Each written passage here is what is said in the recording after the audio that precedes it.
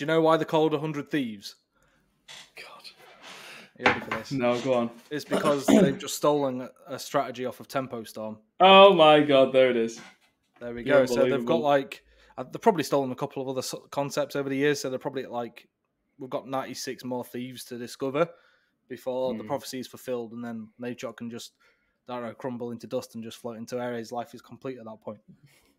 But uh, I, that was actually off the cuff. That was not a bad pl- bad joke. that was Brilliant. planned. It was just it a bad joke cuff, that yeah. came within the moment. It was bad, but like because it came in the moment, it maybe isn't quite as bad. You know what I mean? It's actually Yeah, quite if, impressive. if I like, wouldn't had have a been able to do that. for that. Yeah, my If head would have just of exploded as opposed to come up with a, with a good one like that. Oh, there we go. So yeah, this video is all about Making a game. thieves making a game which working title Project X, Yeah. which is thieving a film title, right? So now we're on what ninety five. There's 95 definitely. thieves to go. Yeah, yeah. And um, the thing, the thing, the, the weird thing initially is they've announced it, but they have no idea what the fuck they're doing. Yeah, But that's actually the good thing as well because which is exciting as well. Yeah. they're building, they're doing the whole building in public thing, which I think obviously is a huge thing among like startups right now.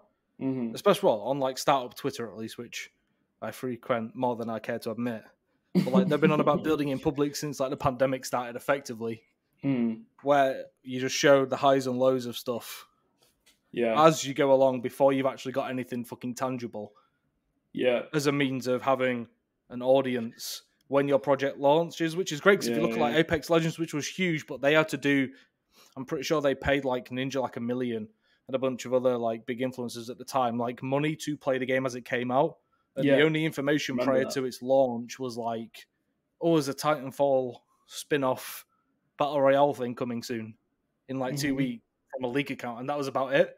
So like they had they went for like the Beyonce album drop thing where it's like, boom, there you go as an album, but it's like they're not Beyonce, so they don't have that Yeah. track record, and not everyone knew to be excited for it. Exactly. Whereas the building in public stuff, like Hundred Thieves at this point, say their game comes out in like 2027, if it even does ever come out, that's like a long runway of being able to build anticipation, make people feel like they're involved in some way. You know? Yeah, that's one of the things I quite like about Hundred Thieves. To be honest, is you know how everybody now in any field is everybody knows that oh content or personal brand or the branding of a company is really important. So everyone is trying to force out this content. I'm seeing it like from a lot of different people. You know, Ben Francis, the guy that runs Gymshark. Yes, yes. He, yes. um, like, I've just, I don't know. I mean, it might not be, but it seems very stiff when I watch it, and it's like your strategy is to make content, which kind of pisses me off. Like I know that it's the smart strategy, Mhm. but for some people it just comes easier than other, than others, and for some people it just feels forced. And I hate that everyone is fucking doing it because they know it's the thing to do. Like, oh, let's look authentic even without being authentic. Not Well, say, so- I mean, yeah, not to dump on him too much, but like the reason I was saying that is because Hundred Thieves, like I don't know, it feels natural. Like Shot is an actual, like legendary content creator. And That's because he's come at it like the other way around, whereas Ben Francis Yeah. was firmly not a personality prior. Exactly, He's just a I'm saying. geezer who's like lift weights feel good, Ugh, which I respect. yeah. Fair play, G. yeah, Uh, right, and, and then from there, like he's not the CEO anymore, is he? He's like he's basically like an ambassador, effectively, but yeah, is he the chairman or something? I can't something remember. like that. But It's the same thing. from what with I can like, tell, he just goes around going, "Gymshark is sick. Yeah. mate. look at this." and you know, you know, like people who just do it and do it well. Like for example, Steven Bartlett just got an amazing personal brand now. Do you not like him? not at all. I see. Um, I, I quite like him. I don't. I, I listen to his podcast and shit, but he has. He's a good example of someone that just did it and did it really well. It's worked. For you him. are seeing this. Yeah, it's worked for him massively now, but you are seeing this this wave of yeah people just just fucking forcing it. But like, part of me thinks like, what does he actually fucking do work wise? Um, Who's Steven Bartlett? Yeah, no, I don't just- think he's got anything to do with social chain anymore, is it? No, no, no, no, no. But like, No. even even that, uh, I don't know. I know, I know a couple of people who used to work there, so I think maybe that like tarnished my opinion of him before I ever saw any of his stuff. But Oh, like, I did used to back in the day. I was a little Gary V obsessed fucker back when I was trying to like get going in writing and like building my own website and stuff. I would watch Mhm. the Gary V stuff. You got content, man, content, content, all the time. And then and then um there was like the UK version, which was effectively Steven Bartlett, right? And he had this ginger little ginger fella called Dodds editing for him and stuff like that, and that was like his D Rock, and it all felt very much Yeah. similar. And it was just like, here I am, I'm flying to Jamaica today to go and close a deal, and it's like, yeah, sick mate, like this is yeah, whatever. So Mm. when I grew up, effectively, I, I decided, yeah, this is objectively shit. Um, Yeah. And I, I I tried a couple of his podcasts since, but not for me. But again, like I think he's another one where I don't think he's like a natural creator by Mm. any means, in fact. But then again, if you look at like Nadeshot when he first started streaming and creating content, he was an awkward fucker as well, like mad awkward. in fact, to be fair. So Mm. I don't know what it is, but like he, well, yeah, he came up on the creator side first, and then like pivoted into business, and Mm. which is a good way of doing things, though. Obviously, yeah, I you, just feel don't, like you almost people. don't plan those things. I don't think you. Oh, you know what? I'm going to get like 10 million subscribers first, then I'll launch my business. Yeah, that's yeah, yeah, exactly. You don't. That's why. That's why people love nature is because it's all authentic. Yeah, I think yeah. Some people, for some people, it works. For some people, it really does just look forced. And with the Hundred Thieves stuff, like everything they're doing feels authentic, and they're also ma- making pretty good decisions. It seems like. Um, Seemingly so. So that like they raised 60 mil in their Series C in December 2021, which is something Mhm. I actually forgot about in a couple of episodes ago when I said no one's raising big money anymore. Um, Of Mhm. course, 100 Thieves is. But at that point, I remember there was a quote from Nadeshot, which probably actually wasn't said by him, but the PR person wrote for him. But um, says something like, "We're now able to create and acquire new companies that you wouldn't expect," something along those lines. mm, So like it's very clear with like the acquisition of Higround that they made, where you wouldn't necessarily expect them to do it, though it makes sense as an extension of who they are. This again, Yeah. like you would never expect it, I don't think, because they're on the other side of the food chain here. They're the ones getting shafted by developers and publishers. It shouldn't be them Mm. becoming one and saying "fuck you," we've got the power then. But Yeah, a- yeah. a- again, like I, so, I guess this is part of that, and I imagine it'll take a lot of that sixty mil to truly get something off of the ground because you've got To all the big hires game, to yeah. make first, and then I don't even know what else will go into it. But all of the planning and mm, uh, the the part of the reason I think it's such a high risk, high reward situation is because there's n- nothing's guaranteed at the end. Mm. There's no guarantee they're going to have a tangible product at any Yeah. point, or they're going to launch a product. Never mind it be successful or not. There are so many things that could come in where they actually it never gets off of the ground. yeah. You know, I mean? don't I don't know how much you really need to develop a game and I guess it depends on how big they want to go. You know, if they're trying to develop the next fucking Call of Duty and like this beautiful massive um thing that presumably cost might cost 100 million or something. I don't I have no idea to be honest. Or some if like they, AAA title or a little Yeah. mobile. that's exactly yeah. I mean, I feel like it'll be big whatever they choose to do, but will it be like a? Yeah, I think the fact that they've left themselves open is pretty cool, and it's exciting. Like, and the more I think about it, and we can get into this now if you want, like being able to leverage creators and teams that they have, hmm and they do have some of the biggest. Like, that's cool. Like, I, I'm interested to see what they do with it.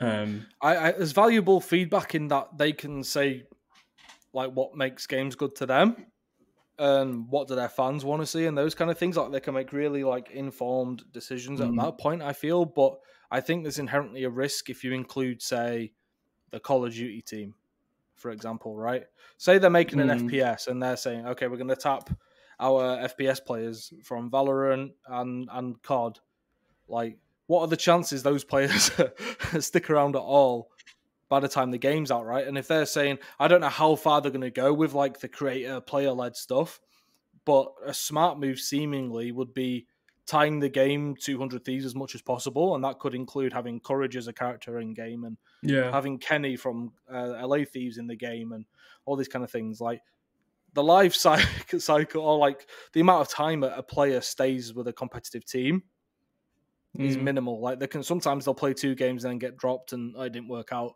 Sometimes they'll be there for a couple of years. You get the very rare ones where like it's Scump at OpTic, where he's there besides a minor blip of like 14 days, where he's there for like 10 years. Mm. Like you have to be very careful, I feel, around the people you choose to build Yeah, it's something true, yeah, around, especially a game, because that's because- to change. What happens if there's a fallout? Yeah, you make a good point. Like, yeah, if if Courage leaves, gets a bet a better offer from from another org, and then he but he's a character in this Hundred Thieves game. Mm.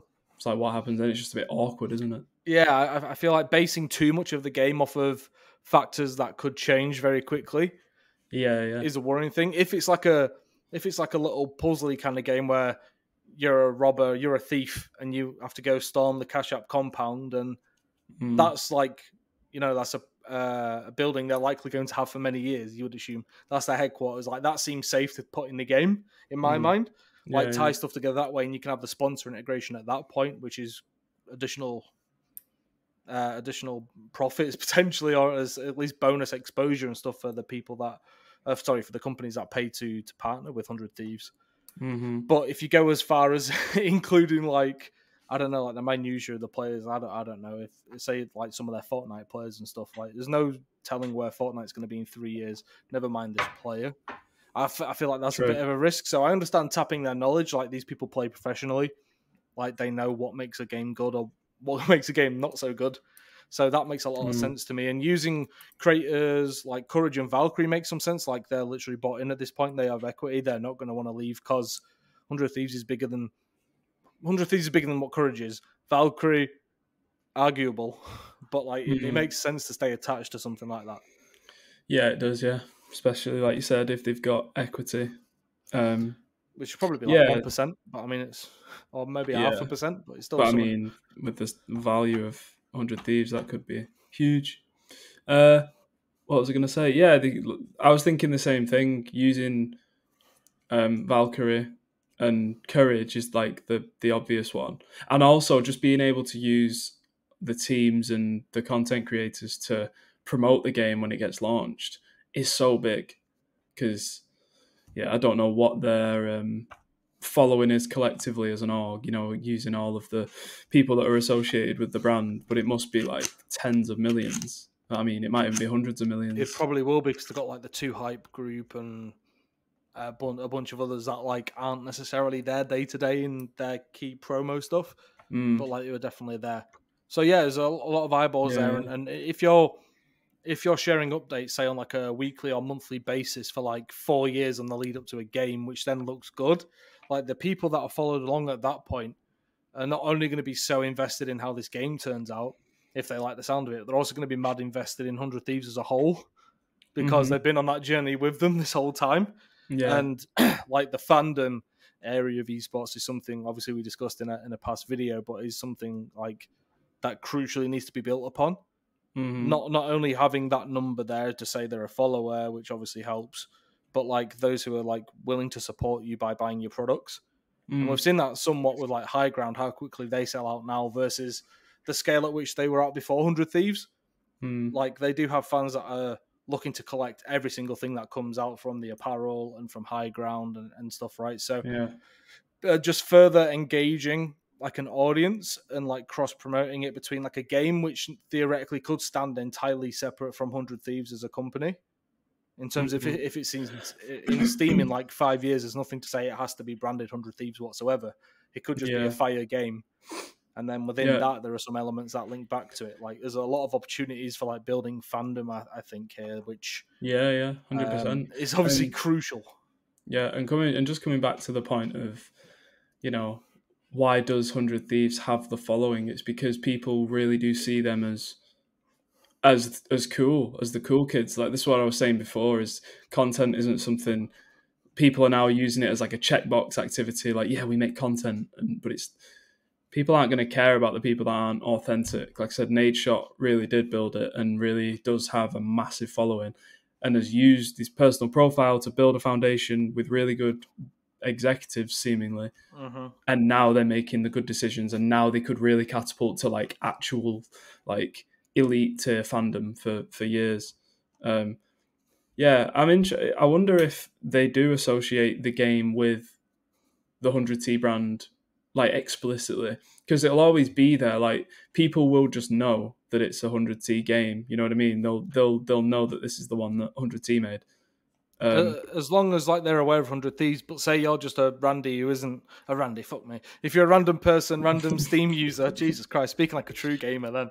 If you're some scrub, some Randy scrub, um, and you're not really into esports, you don't really follow it, and you go in Steam and you see like a top ten game in the marketplace right now, and it's there, Yeah. it's Hundred Thieves game. If you're not aware of Hundred Thieves, like you Yeah, may so not know, not but that's not inherently a bad thing either. Though no, it's not. This is why ultimately the game needs to be good. that, that like it sounds so one. obvious to say, yeah, but it's like the game has to be good first. Like people have to want to play it. If not, it could yeah. just be a massive big faceplant. And but you know, at least they've been able to produce all this content, but the end product isn't there. I, I think one part of it is as well like battle royale was the hype for a bit, Mm. but now I don't think there's a clear favorite like genre or one you can predict will be the next big thing in like five years. yeah, yeah, So there's also a bit more pressure to like decide on something they think will be relevant by the time it actually releases, whenever that may be, because they're not going to have uh, the manpower. Can you say that these days? The person power of um, as a AAA studio, you know. Uh, Mhm. they're not. They're not going to have that. So they, I don't know. It has to either be a small game which they can pump out quite quick, like two years, or they Mm. have to think of like a timeless concept. Obviously, it's like tried and true genres like FPSs and stuff. Like it'd be interesting to see if they wanted to try and take on a CS:GO and a Valorant, but I don't see. I don't see that being the case. They've Nah. competed in both of them, and obviously uh, they're quite high up in the, I guess, the hierarchy of, of teams in Valorant even Mm. from a popularity standpoint. So yeah, I guess you don't want to step on any toes there, especially if you're looking to become like a partner of VCT when that comes Mhm. around in 2023. I wonder if any developers will have any issues actually with with them, depending on what kind of genre they go into. If they do something that's way too close to Fortnite, for example, I don't know how you do that, or Mm. Valorant or COD, would any of them have a problem now that 100 Thieves are also in that arena Yeah, yeah, it's true. as well? It's true. like, Like, they're, they're trying to own every piece of the pie, seemingly. yeah, like how would their team, how would their being a team influence the type of game they make? That probably means, yeah, maybe that may, that's a good point. Maybe they'll just stick to single player then. You know what I mean? Like if ah, I don't know, Potentially, it's tough. Part part of me thinks like competitions in their DN the company's DNA at this point. Mm, So you and and we know like competition is good marketing for a game as well. yeah, So yeah, I, yeah. I feel like they'd maybe, but like also single players can be competitive in that if there's a high score system or certain levels you have to get to, all those kind of things, you know. Like I just hope they don't do something as basic as what I suggested earlier, like all made up earlier, where it was like a robber going into the hundred thieves Cash App compound and you have to like steal the CDL Mm. trophy. And and they Yeah. just pops up out of nowhere, and then there's You know- Valkyrae there, and you have to like dodge them and stuff like that's a bit too Mate, on you the know nose. they- I feel. you know what they could do though? seven school project. They could make that multiplayer though. And have did you ever play? Oh mate, this is such a good idea. If anybody at Hundred Thieves is listening, they need They to will take be by the way board. about two of them. Right, good. So they need to pass this on to to Nadeshot. So, did you ever play um, Splinter Cell Double Agent multiplayer? Never in my life. Oh my god, it I'm was sorry. fucking brilliant. It Go was on. so good. So that game is one of my favorite. I, I went and replayed it actually, and it's pretty buggy. So I don't know if like I think in in the ranking of best ever Splinter Cell games, I don't think it's anywhere near the top to most people. But I loved it. Um, and they had a multiplayer, and it was three on three.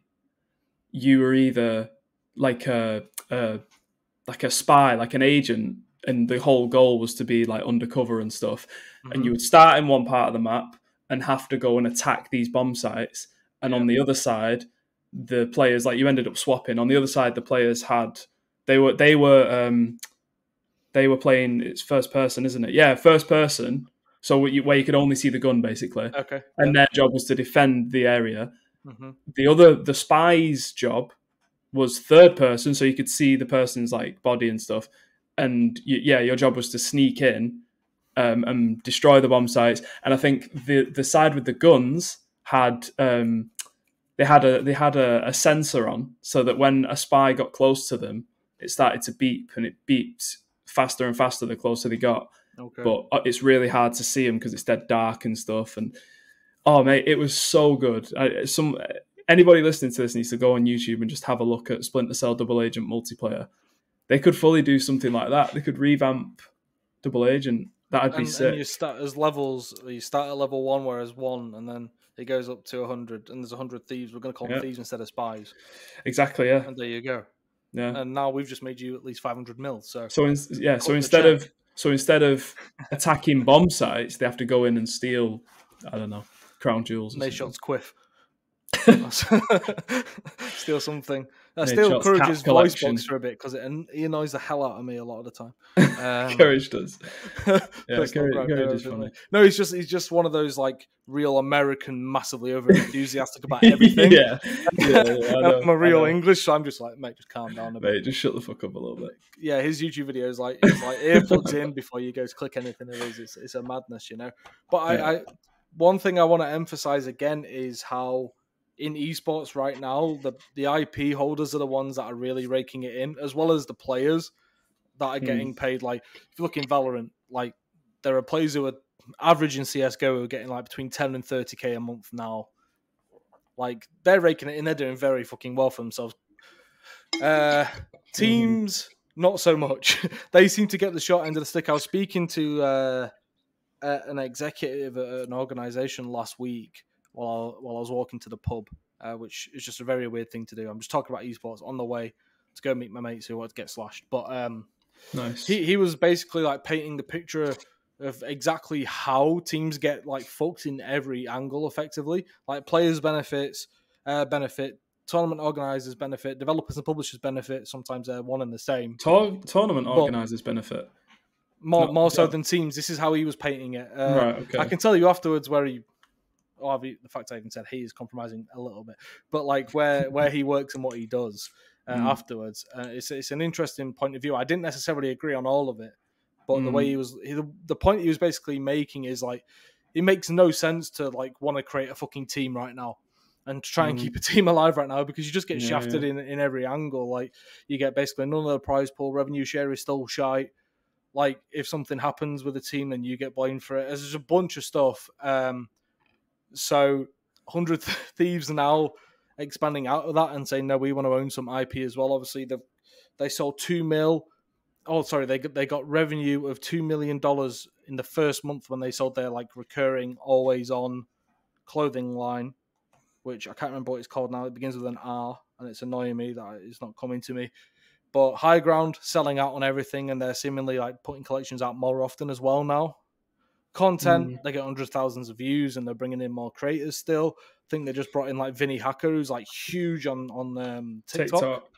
like like millions upon millions of views there, right? So Hmm. they're they're still finding new ways to gain like uh, access new audiences on the content Mhm. front as well. And now, you know, obviously they've got competition, but like being able to own it from the other side and say, look, like we're really not reliant on what we do on the competitive side. In fact, Yeah, that could yeah. be a lost leader for us just to develop fan engagement because people want to support us and also to just advertise our brand and the the you know the sponsors on the jerseys and such. I wonder if they see the esports stuff as marketing. You know how Yeah. you said before, like, and how think they do. how publishers see esports, like game publishers see esports as marketing. Um, yeah, that's that's a really good point. Marketing is- is for teams uh, like esports is marketing all round. Yeah, yeah, effectively like it's not a super serious sport. You've still got like players who are managed by teams. I think it was announced like there was the FaZe Maybe. like Swagg announcement the other day where he signed to like UTA or some big Yeah, yeah, agency, yeah. but within it it actually said he's managed by FaZe Clan, which they just fuck, they've been getting in trouble for anyway. They're not so they're not um, registered as a talent agency Oh, right, in yeah, LA yeah. and all this kind of shit. But like so like it's not a super serious sport where everything's above board and everything is is legit and competitive competitive integrity is placed high above Maybe. anything else. It's wrestling. maybe it's that's the. merch and Yeah, yeah. and sponsors. It's really interesting. I've never actually seen it that way. Maybe that's like the future of esports. You know, because it's so fractured, like we were saying in, in Mhm. another video. Like maybe the best option is to just accept that it's it the sports itself, their themselves. Fucking hell, it's difficult, isn't it, tough, to singular or plural. Um, yeah, like maybe the future is to have a business that you want to promote across games to kind of give your team or give give your brand, sorry, like legitimacy. Yeah, because Um, like, how are you making money off of a like competitive operations right now? You get your sponsors, which care about eyeballs outside of competing as well. Mhm. Um, revenue shares, revenue shares from if you buy into a league, which is a heavy investment, and good luck getting like twenty mil back in the. I don't know within Yeah, ten years. yeah, good luck yeah. doing that. You know, It's just not um. I think like uh, someone wanted to buy an Overwatch League franchise for like ten mil, but couldn't because more than that was owed on the franchise payment still. And there's a rule where like they can't do that. You can't like you can't accept an offer that's lower than what you owe because that has to be covered somehow right. on yeah. Activision Blizzard's front. So like revenue share and, and everything, it's still there's, work to be done there. Prize pool, ninety percent of it goes to players. Effectively, sometimes it's an 80-20 split, but most of the time it's like a ninety percent split. yeah, yeah. If yeah. you look at game specific stuff, whereas in game items like Rocket League or stickers in CS:GO, the players when it's player related stuff, they get basically all of it, unless Really? the team try, like goes against that and then just gets peppered publicly. Because I, th- I think there was some stuff about that recently, and also like Nip again, the Richard Lewis report exposing that Nip just hasn't paid like hundreds of thousands of pounds like it owes for sticker capsules and stuff to players, both former and existing in CS. Well, So like they're they're having to like take what they can to keep keep going. I actually think like it might have been Nip that reasoned with it in Richard's report where they basically said, um, look, like we needed money somehow. And this was for the cancelled major in Rio, the ESL major that didn't go ahead. Like they did sell some capsules. It was it was something along the lines of like look, it wasn't technically player stickers, and we needed the money. It was in the middle of a pandemic, and there wasn't much going on, Mhm. so like we needed it. And in their contract, it states this, and this technically wasn't this; it was that. So therefore, we get to Mhm. keep like I don't know if it's a million or whatever. You know, like that's how Yeah, desperate yeah. they are for money at this point. But basically, say all Mhm. that to say, it's not good to be a team right now, and we don't know when the Yeah, fuck it will be. yeah. You know, I, I put a- really I put together a list of all the 2021 financial performances of the public organisations. Mm. Um, like just last week, I published it, and it's scary looking at it. It's fucking scary. I'll I, I can link it in in the description below for anyone that's interested. But um, it just paints a really bad picture. So seeing Mm. teams be proactive in any way, like Tempo Storm, obviously are trying to do this. Where like their own owner. Reynad, which I'm pretty sure former competitor, kind of personality turned founder and businessman, just like Nadeshot, uh, Mm. trying stuff new, creating like a card game. Because he came up off of card games, makes a Mhm. lot of sense. If we're following that route, Nadeshot will start a shooter because he was big on Mhm. Gears of War, Halo, and COD. Yeah, yeah. Valorant now, you know. But yeah, I, I just applaud any organization that are trying to do something different, other than starting a fucking agency and then like cross selling their players to get to get more money, like TSM does and FaZe do. Mm. You know, like I don't Yeah. respect those, but those are actually being innovative. It's sick. Yeah, yeah. Like yeah, that's that is the future at least for the next 10 20 years, isn't it? Is diversifying and trying to find different ways of doing things. Uh the the thought or the prospect of um of a team like 100 Thieves or an, or a brand like 100 Thieves making a game. It is pretty fucking sick. Like I'm excited to see what they do with it. You know, watching the hype video with um Nadeshot and is it John Robinson? Is Yeah, John? Robinson, the guy yeah. that yeah. President COO. Yeah, yeah. Um, yeah, it's just it's just sick. Like I'm excited to see what they do with it, and it really will be a great opportunity for content. I've got a Um, question for you. Go on. What happens if they announce it's going to be a blockchain game, uh, play to earn? oh my god! Minimum spend minimum spend to play of one thousand pounds. Fucking yeah. I've, I've gone I've gone so hype like nothing else, won't it? I've got I've gone so cold on on blockchain games, man. Like, been reading a, a couple of this is so fucking random, but if anyone watching um, is interested, subscribe to a really good newsletter from a company called Every, and they specialize in like specific newsletters. Yeah. Um, I think there's a newsletter called Almanac and one called Napkin Math. I definitely subscribe to both of those. They're really really good, and they've written a few. Um, about play to earn games and about crypto like basically failing in its promise and things like that. Really fucking thought provoking. Anyway, that's such a sidetrack. Um, yeah, I'd, I'd, mate, if they come out with a play to earn game, That's the only thing I think I can think of right now I'll that would off. immediately turn off ninety percent of the people that would care. Yeah, they, that'd be stupid if they did that. Just just purely because even if they did it well, I feel like the gaming and esports community just wouldn't like that at all. They'd be like, "What the fuck are you doing?" Yeah, yeah, and like they got like to be fair though, they could create NFT versions of their new collections and, and introduce them in game at the same time Mm. as they come out. uh, which is cross promotion there. For, even for the people who don't know Hundred Thieves, if the new collection comes out in game as well as NFTs, whew. also you could do it without it being NFTs and just have it as a new skin, Yeah, which That's- is probably the oh, better mate. option. that or is- like pay five dollars and you get the new golf country club looking ass um, Yeah. collection that we've just put out. You know what I mean? Have it on your character in game, and then Hmm. also yeah, um, game. here's five here's ten percent off since you bought it in game. Is ten percent off the actual collection? Go now. Gamers, there's a lot yeah, yeah, yeah.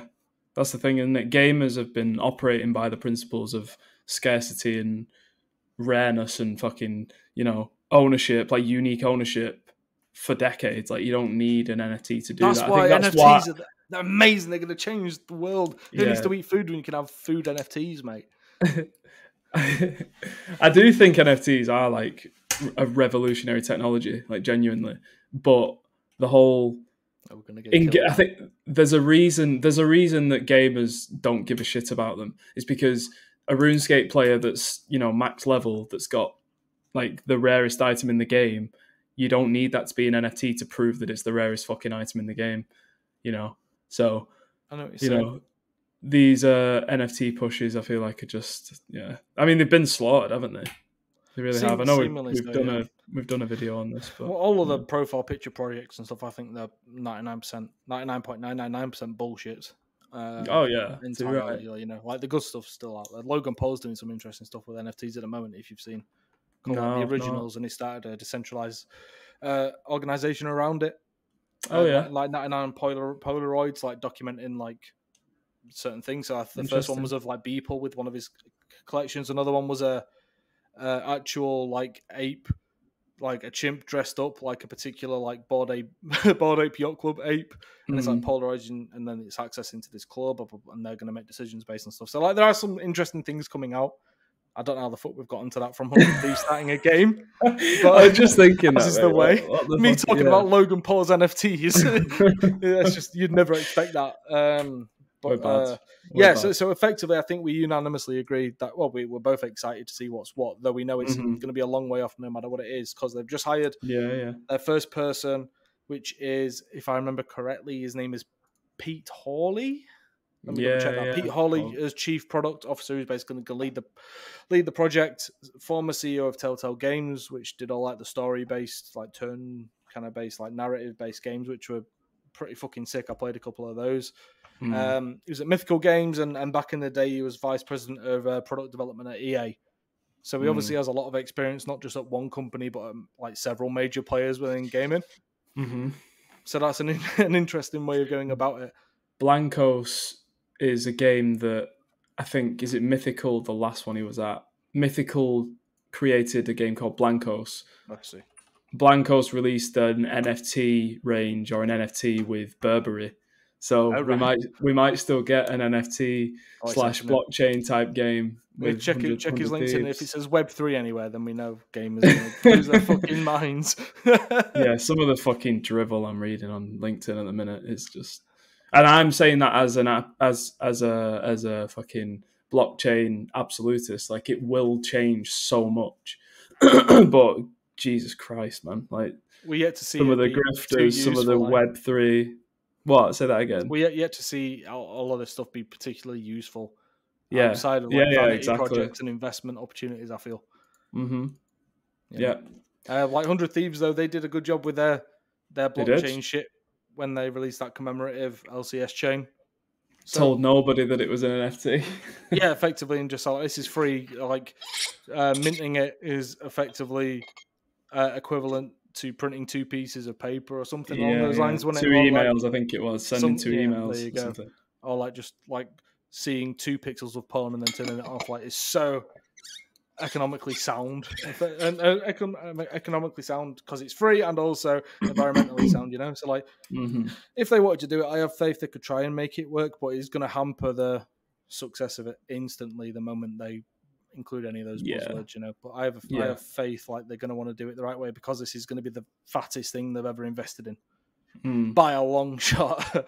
Because yeah, sixty mil is going to at least cost half of that to get this shit fully going. I, I feel, and then you've got Yeah, the marketing afterwards, and so. and the thing is, in like a post Fortnite um, and, But- and like free game era now. Like you have to keep content fresh all of the time, or Mm. fans lose interest instantly. If you look at Halo Infinite, like that got absolutely peppered because like the second season came late, like six months after the first, or something like that. You know, like they demand shit all the time. Like each week, it seems you need to have a new skin or a new Mm. level or a tweak to a gun or something along those lines. You know, so like it, the the work is not just up front.